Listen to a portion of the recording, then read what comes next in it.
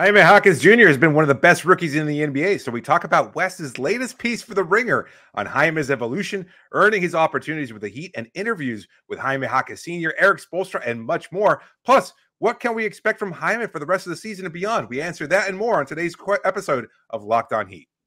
You are Locked On Heat, your daily Miami Heat podcast.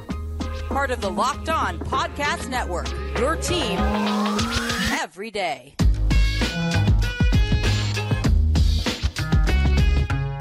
All right, welcome to Locked On Heat, your daily podcast on the Miami Heat. I'm Wes Goldberg, editor at allyoucanheat.com. Joining me as always, it's longtime NBA reporter David Ramil.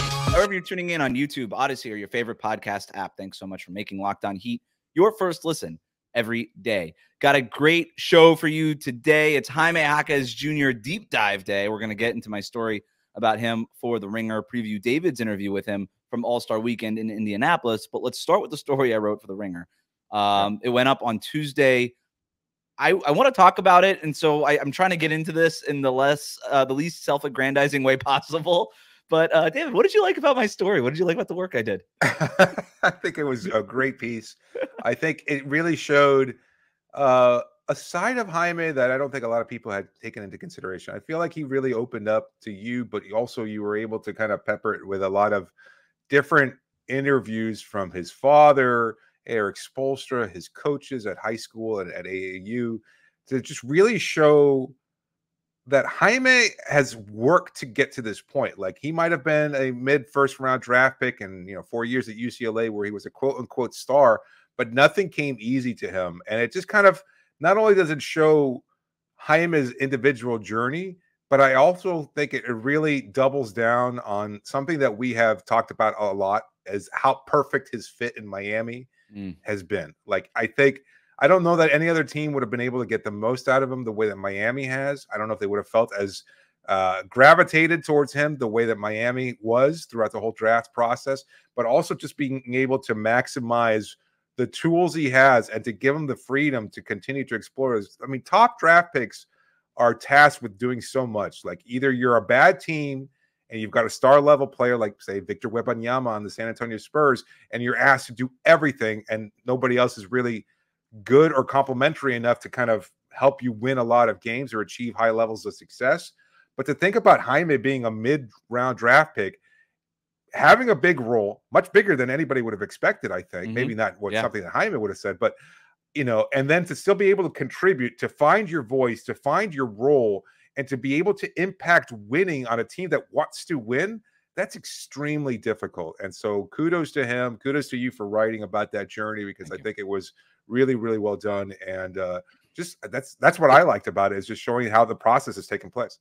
I don't think jaime expected to have such a big role this early. And talking with Erik spoelstra for this story um he mentioned like you know they really liked him. And that was that was very clear. I, I got into a lot of reporting in the pre-draft process and the draft night process from Miami's side, and they were really they were locked in on him, and they were really nervous that the Warriors were actually going to trade up in front of them and try to grab Jaime. They the Warriors were also locked in on Jaime. Uh, they ended up obviously getting Podziemski with one pick after that, and they're very happy with that. He's ended up being great for for Golden State, but like the Heat were kind of sitting there sweating, and so was Jaime Jaquez. Like you had Utah at number 16. They did not want to go to Salt Lake City. The Lakers were there at 17. They never really thought the Lakers were that interested, which just continues yeah. to underscore how badly the Lakers screwed that up, not taking the guy in your backyard uh, who would yeah. have an obvious fit on that roster. Like that's literally the kind of guy that they need on that team. But Miami was really, really locked in on him, and they were really excited to get him. Obviously, they would have went in other directions if Jaime was not available. But um, you know, Erik Spoelstra talked about the pre-draft process, doing his deep dive and saying how uh, what impressed him the most was how Jaime ended up going from role player his first couple years at UCLA yes. to the star player who they were running the offense through by his senior year. And I do wonder if that's sort of how Miami envisions. All right, he can. He's a guy who could be a star player yep. and has the ability to lead a team, but he can also just fit a role and star in that role. And and I thought Erik Spoelstra said it really well. I asked him about, um, you know, were you surprised by how quickly he's gotten, uh, you know, accustomed to everything and, and how, how he's just basically taken everything you've put on his plate and ran with it. And here's the quote he gave me, and this is the one that appears in the story. It seemed like every 10 days or two weeks, that would be a natural progression to add more to his plate. And when we had injuries, so it, and then we had injuries, so it made sense to give him more responsibilities. And every time we did that, he handled it very well. He yep. earned it. And I think that to me is the most impressive part about Jaime, beyond the footwork and all the stuff, is okay, here's a new thing. We're gonna run, we're gonna run a post play for you in the opening game of the, the year in the fourth quarter when we need a bucket. We're gonna, okay, good. Jimmy Butler's out for 11 games. Can you like Step score in. more points? Oh, Tyler Herro's out. Can you right. run the second unit? Oh, we're gonna actually bring back our zone defense from last year's finals run. Find a place in the zone defense, and he's done all of the. He's hit all those check marks he's smart enough to have to figure it out. So you have to have the mental flexibility to, to be able to adapt to different roles and stuff like that. But I, I think what a big part of why he gravitated towards the Heat front office and the draft nicks there is because of that evolution, the fact that he's come from where he has, and he has that upbringing with a father who played high school, who coached him, you know, mm-hmm. at, at, a high level, and then you know, for him to grow into his role at UCLA and be able to embrace all the different you know levels of of a player, like from a role player to a star to the guy that was the foundational piece for that team, you know, and to be there for four years. Like these kinds of things all matter so much to the Heat because they want guys who accept their roles and start in them when they get those yeah. opportunities because you never know when that could you know come into play. That's why they they took a guy like Duncan Robinson, you know, took a chance on him because they saw something in him and, and he had a skill set that was at an elite level. With Jaime, I don't think he had that that elite skill necessarily. Uh, his athleticism is fine, but he doesn't shoot like an elite shooter. He does. He's not elite in, in terms of his quickness or anything like that. But he just he accepts everything. He can do everything, and that's how he's functioned this year. Like there's so much versatility and impact to what he can do. He can rebound. He can push the pace. He can bring the ball up. He can dunk with in, in traffic. You know, there's a lot to he, what he can do. And, and so there was that appeal there from that team. It's like, you know what? We need a fully made player. We're going to take a draft. Uh, we're going to take a draft pick in the first place, and we want that guy to be a contributor. Yeah. And I think that he's exceeded all their expectations because yeah. not only is he a contributor, but he's a pretty high level one at that. Yeah, I had somebody in Miami's scouting department literally say we were looking for somebody who could make an instant impact. We just came off yep. a finals run and a cheap one because of the new yep. CBA and the whole life sure. of the second apron and everything like that. And, and Jaime on that rookie scale contract is exactly that. Um, I found it also interesting, kind of digging into his background at UCLA, where you know he started there and he was not. People have this view of Jaime Jaquez Jr. now as this yes. patient player with an old school approach and a veteran style game. But everybody that I talked to, whether it was from high school, his high school days, or AAU, or his early days at college, was like that was not Jaime back then. Like we're talking about this slowed down back to the basket Jaime Jaquez Jr. with the patient footwork and the up fakes and all that stuff. That's kind of over the last two and a half years where that's yeah. really been a thing. And uh and you wouldn't see that. He looked so he looked so seasoned when he was doing those things. But early in his career, people were like, "Oh, this guy was just like a, a, a rampaging bull. Like he was just diving on the ground, going for rebounds, a hustle yeah. player. Just we, we couldn't slow him down." One quote that ended up uh, uh, on the cutting room floor was like Mick Cronin was like, his UCLA coach was like, he traveled every time, like the for, for the first month, every time he touched the ball at UCLA, he just traveled. And it's like that's how fast he was going. And now he's got such a slowed down game. I find that part remarkable about Jaime, how this is this is not necessarily a natural thing for him, although it yeah. looks so natural. Well, I, I, think again another appealing factor for the Heat and and what they typically look for when they're evaluating players is the kind of work you do, not just on the court but behind the scenes. And there was a great anecdote there from Cronin about how he, he just kind of locked himself in place during the the pandemic, and it was just like, oh, this is the perfect time for me to concentrate on doing the work, and, and that's like right there. Erik Spoelstra gets goosebumps right. just mentioning it. So it's just like the idea of like wanting to continue to work, and you know, I think at one point the it was at the uh, AAU coach. He said we wanted to wrap things up, and Jaime wouldn't yeah. let them. He just wanted to continue working through and putting up all you know shot after shot after shot, and continuing to develop. So I, I think the idea of like I recognize that I am not a great player or that maybe I have some things to overcome, but through work I can overcome uh, whatever liabilities I might be or whatever limitations I might have in my game. And that is just it's so perfectly heat culture in that mm-hmm. sense. Like you know what, I went into this program with no, nothing expected of me because he wasn't even. A, and this is another point that we'll get to. He wasn't recruited by Cronin because he Right. had taken over for Steve Alford, who had been fired just before. He was the one who had recruited Jaime. And then Jaime came in there without any kind of expectation, without a clearly defined role, and he grew into it and he developed and he took the time and he worked and he made that concerted effort to develop his game to be that you know back to the basket player, etc. So all that just screams heat culture so much. So uh, it's just again fantastic to show what Jaime has become Yeah. and who he is, and I think he's going to become a, a great player in Heat history. We'll talk about his ceiling after this. Today's episode is brought to you by FanDuel. Get buckets with your first bet on FanDuel, America's number one sportsbook, because right now new customers can get $150 in bonus bets with any winning $5 bet. That's 150 bucks if your team wins. Bet on all your favorite NBA players and teams with quick bets, live same game parlays, exclusive props, and so much more. And you'll find it all when you go visit fanduel.com slash locked on and shoot your shot. That's FanDuel, the official sportsbook partner of the NBA. Oh, today's episode is also brought to you by LinkedIn. When you're hiring for your small business, you want to find quality professionals that are right for the role. And that's why you've got to check out LinkedIn Jobs. LinkedIn Jobs has the tools to help find the right professionals for your team faster and for free. I know how difficult it can be when I had to hire people when I was working in PR.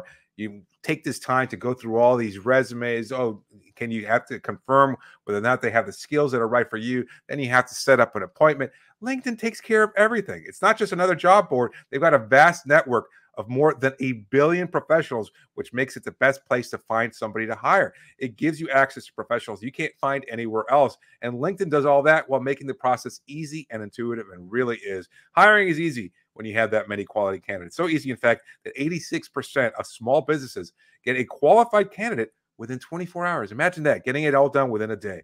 LinkedIn knows that small businesses are wearing so many hats, they might not have time or the resources to find a right hire, but LinkedIn helps out in so many different ways. So post your job for free at linkedin.com slash lockedonnba. That's linkedin.com slash lockedonnba to post your job for free. Terms and conditions do apply.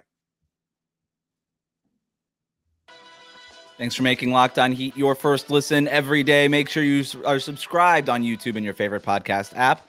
Locked On has launched the first ever national sports 24 7 streaming channel on YouTube. Locked On Sports Today is here for you 24 7, covering the top sports stories of the day with the local experts of Locked On, plus our national shows covering every league. Go to Locked On Sports Today on YouTube, subscribe to the first ever national sports 24 7 streaming channel. Another thing that we wanted to get into on this whole Jaime Jaquez Jr. story this idea that he's a vet, and that's kind of what attracted me to to report this in the first place. His old school approach, the veteran stuff, the low post work. Like I asked him, like, why is somebody born in 2001 even Mhm. interested in practicing low post skills? And he's just like, he, he said it's like jazz when you get down there and all these things What and how the game was. slows down. Wasn't it? Yeah. He said that. And I was like, that's going in the story. Yeah, yeah, I'm building a story around that. That might be my lead right there. I mean, Right.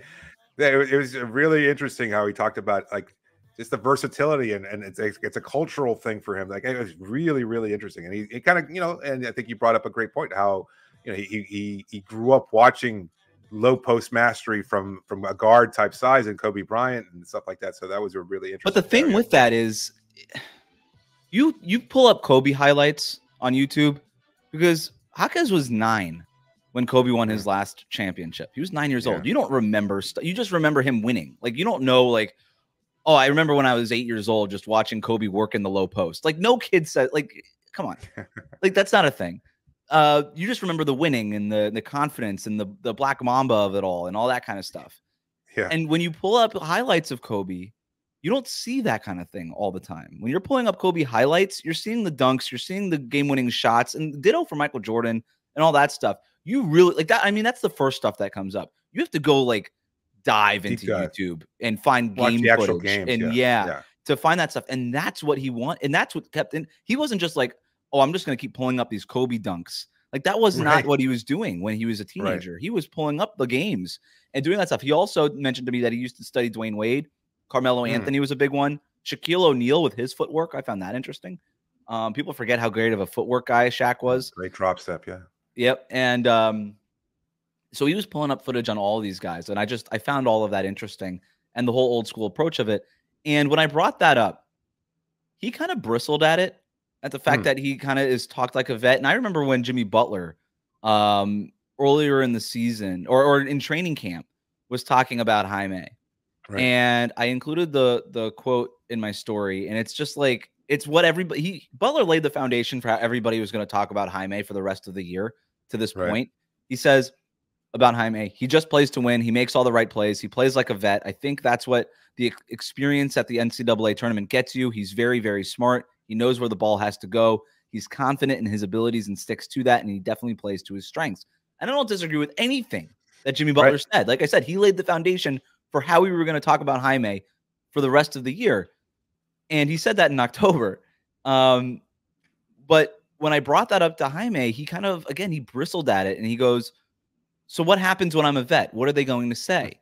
I think I just play like a basketball player, rookie, vet, whatever the hell you want to call it. It's just basketball at the end of the day.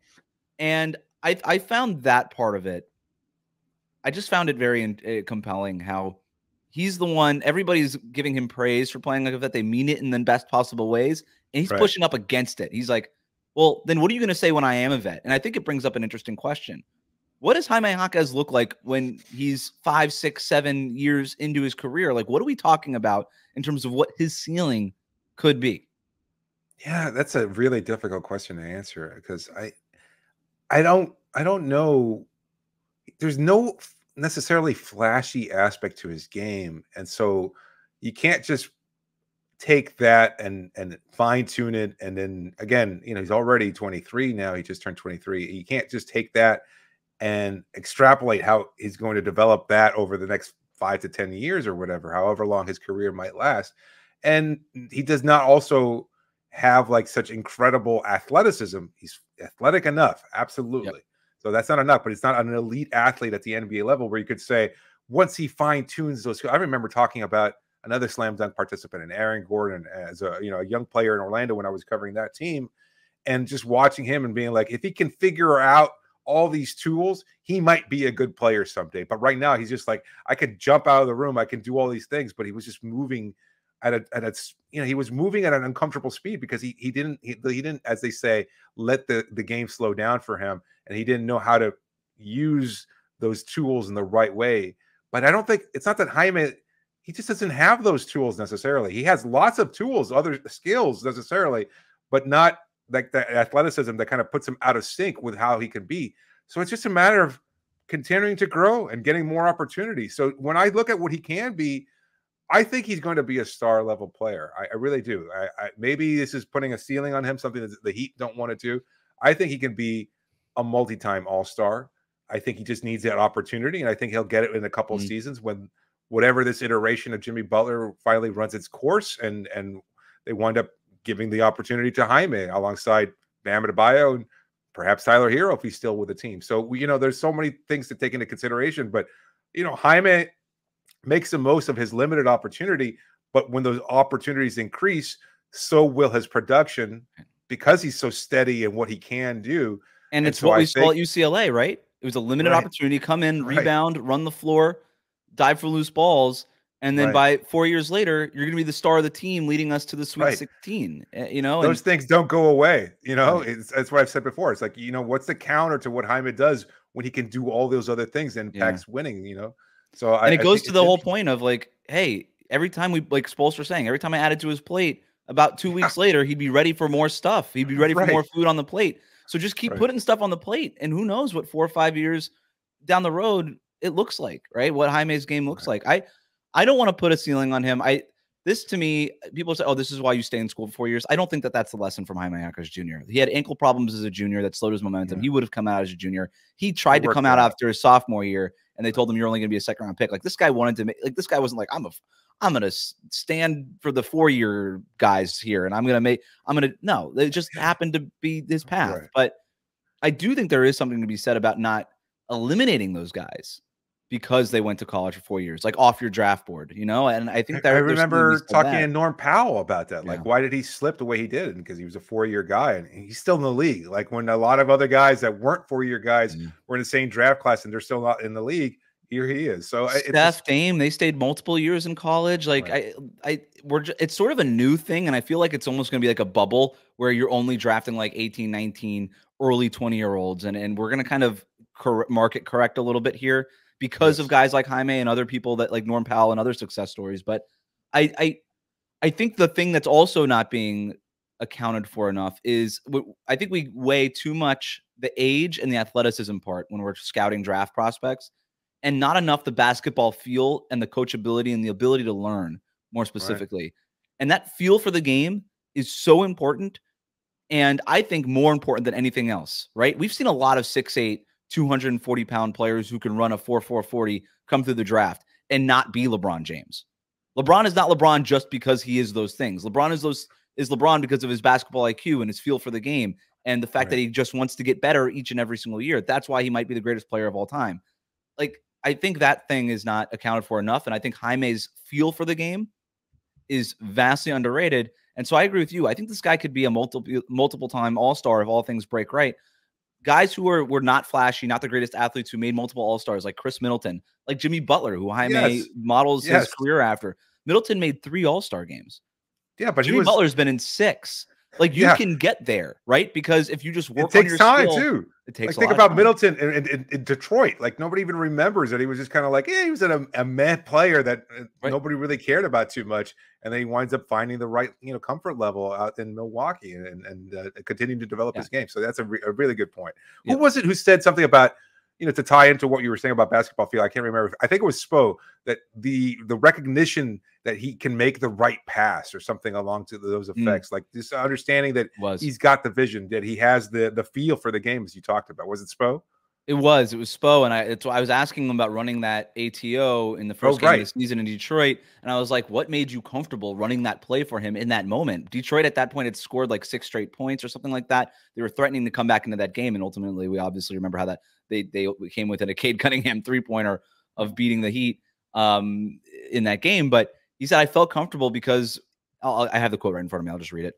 Uh, that was one of the pleasant surprises about him was his advanced skill set. His footwork and fundamentals in the mid post were really advanced. During summer league, we also found out that he had good vision and could pass. So right. they kind of tested him in summer league and training camp. And then by the time it was opening night, they were like, "Yeah, we're just going to put the ball in his hands and trust him to make the right play." Yeah. He was yeah, you remember again, nine minutes into his NBA career.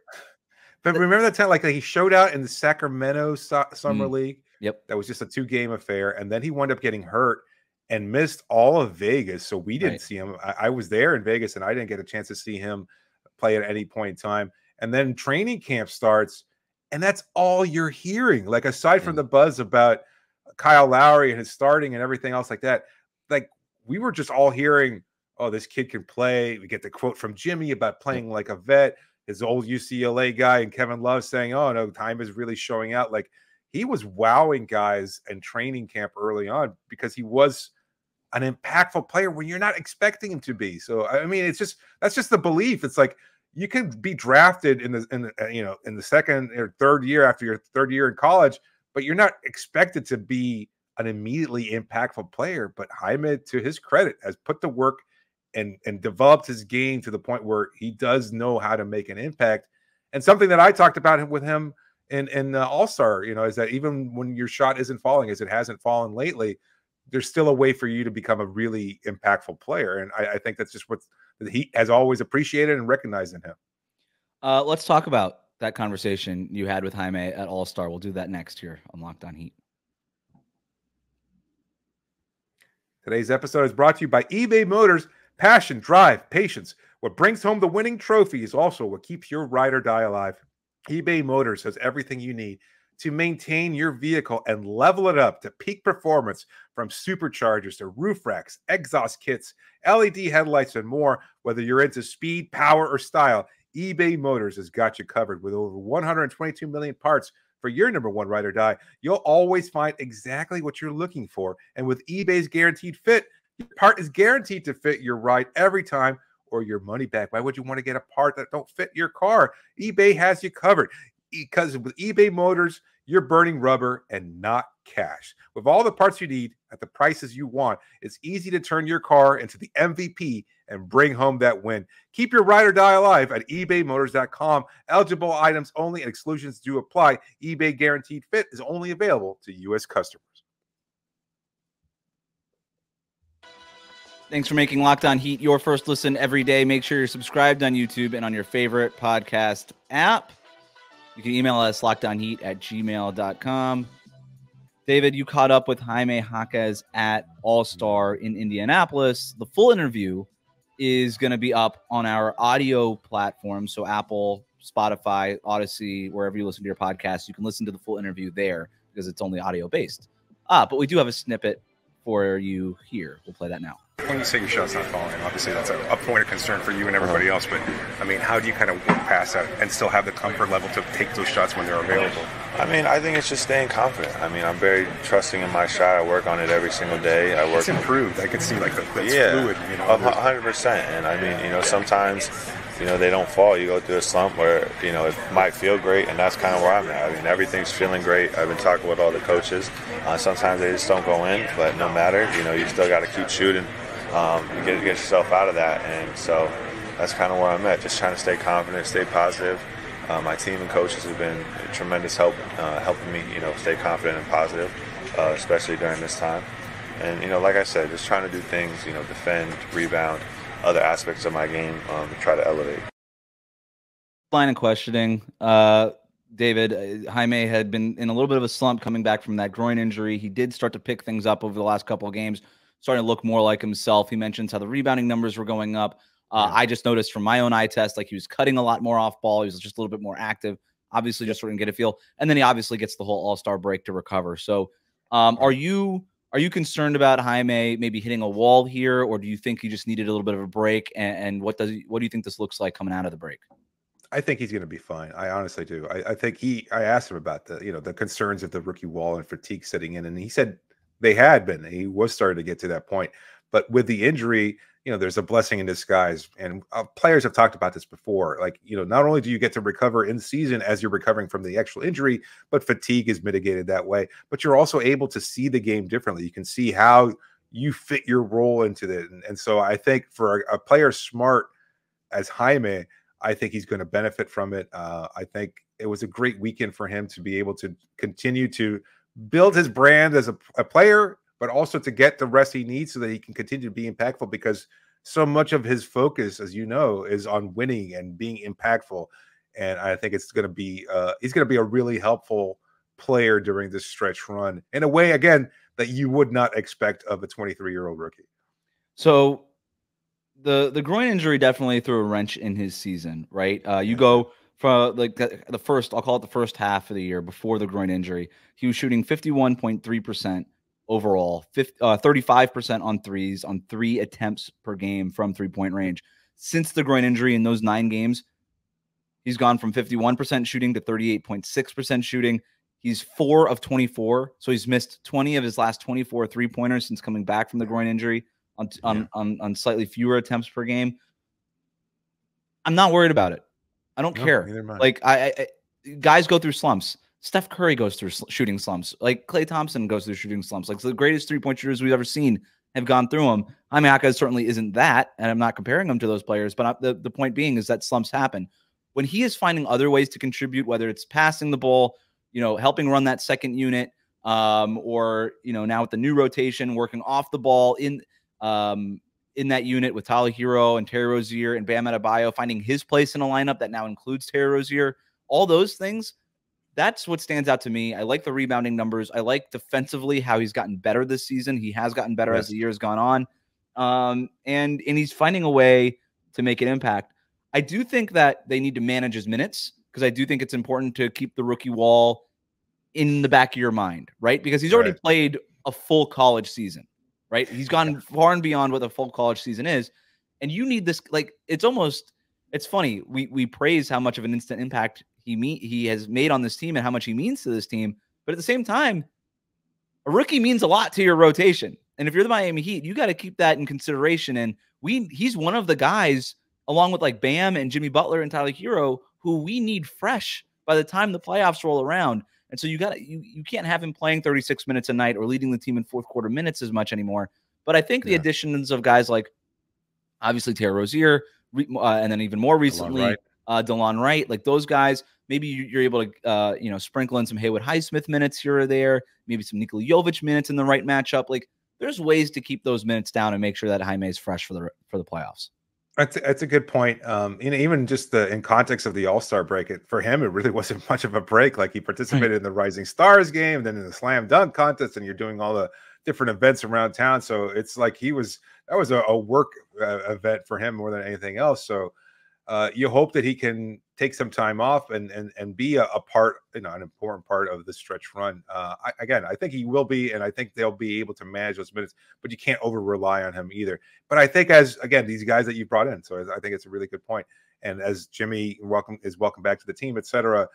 You're going to find a way to manage his minutes a little bit more effectively, and hopefully avoid a further injury or anything like that. Because I think that that would be a concern if he was, you know, the the groin injury. If it continues to be an issue, Mm. you don't want it to flare up right before the season ends as you're entering the postseason, because then there would be that that time where he needs to get back into a rhythm and find his comfort level again. So, um, you know, one of the things that that stood out to me again, I, I am bringing up the All Star break, but also in contrast with something that you wrote about in your piece is that during the time he was at UCLA, he was so engrossed in his working and developing and becoming the player that he has become that his off the court interest, like building his brand and all that stuff, didn't really matter to him.